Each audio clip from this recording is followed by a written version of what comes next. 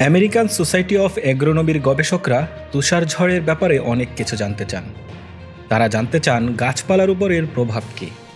বর্তমানে আবহাওয়ার আচরণ ক্ষণে ক্ষণে পরিবর্তন হয় এবং বেশিরভাগ ক্ষেত্রে পূর্বাভাসের সাথে মেলে না। কোনো সতর্কতা ছাড়াই শুরু হয় তুষার ঝড়। তাই বিজ্ঞানীরা এখন এটা নিয়ে কাজ শুরু করেছেন। তিনটি বাস্কেটবল কোর্টের সমান এমন একটি এলাকার কাছে তারা স্প্রে করলেন পানি।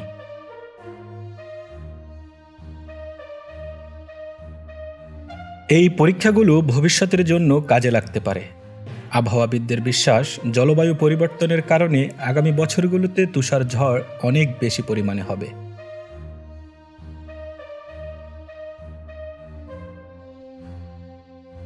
নিউ ইংল্যান্ডে শীতের সময় গেলে দেখতে পাবেন গাছের ডালগুলো যেন স্বচ্ছ কাঁচের আবরণে ঢাকা। এসব ডাল আর শাখা ছয় থেকে উনিশ মিলিমিটার পুরু বরফের স্তরে ঢাকা থাকে। তুষার ঝড়ের কবলে যখন হাবব্যাড অপূর্ব সুন্দর হয়ে ওঠে, তখন যুক্তরাষ্ট্রের অন্যান্য এলাকায় ভয়াবহ বিপর্যয় নেমে আসে ঝড়ের কারণে। বৃষ্টির ফোঁটা মাটিতে পড়ে সাথে সাথে জমে যায় এবং বরফের স্তর পুরু হতে থাকে। অনেক গাছ এবং বৈদ্যুতিক খুঁটি এ ভার সহ্য করতে পারে না। তাই বাড়ি গাড়ির উপর ভেঙে পড়ে এবং বিদ্যুৎ বিচ্ছিন্ন হওয়া সহ নানা দুর্ঘটনা ঘটে।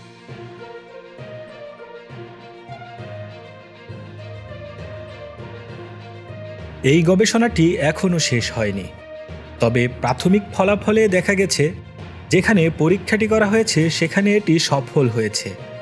হালকা তুষারপাত অরণ্যের জন্য ভালো, কেননা পাতলা বরফের স্তর অতিরিক্ত অঙ্কুরগুলোকে মেরে ফেলে।